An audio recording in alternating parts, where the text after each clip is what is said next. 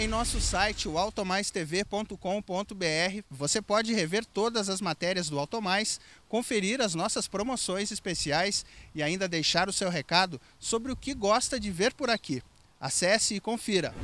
Agora chegou o momento do nosso quadro sobre manutenção e hoje eu mostro para você o quanto pode ser mais agradável, mais saudável a sua vida dentro do carro, desde que você cuide bem do seu ar condicionado. E olha que isso pode ser bem simples. Essa matéria vai para o Paulo Omos, lá de Bagé, Rio Grande do Sul, e também para o Marcelo Gonçalves, aqui de Guarulhos, Grande São Paulo.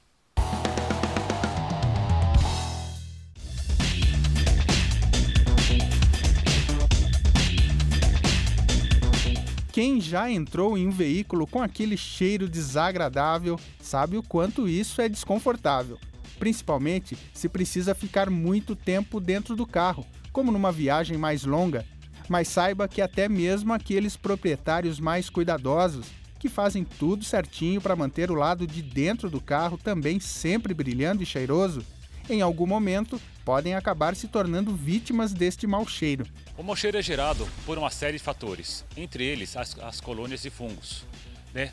pelos de animais, poeira, cabelos que ficam presos no evaporador né? e com o passar do tempo criam um mau cheiro dentro do carro.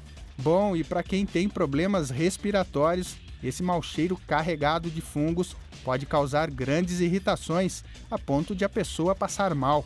Algo nada agradável, mas que pode ser facilmente evitado apenas sabendo como utilizar corretamente o sistema de ar condicionado.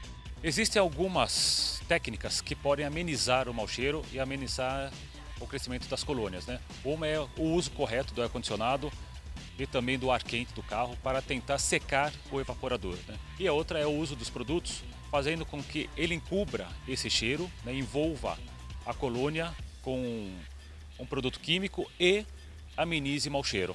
Legal também é que a aplicação de alguns produtos químicos pode ser bem simples e rápida, já que não exige a desmontagem de nenhum item do veículo. Com o carro ligado, Basta acionar primeiramente o ar quente por alguns minutos para que os dutos do sistema fiquem bem secos. Depois, é só ligar o ar condicionado e acionar o sistema de circulação.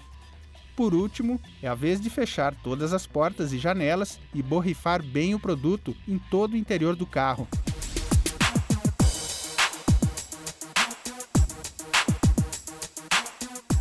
Apesar da utilização dos produtos deste tipo ser muito fácil, é sempre recomendado que o processo seja feito com o acompanhamento de um especialista.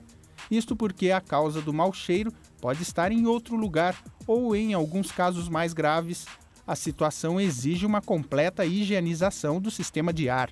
Ser um trabalho físico, desmontar a caixa e assim proceder à limpeza dela inteira.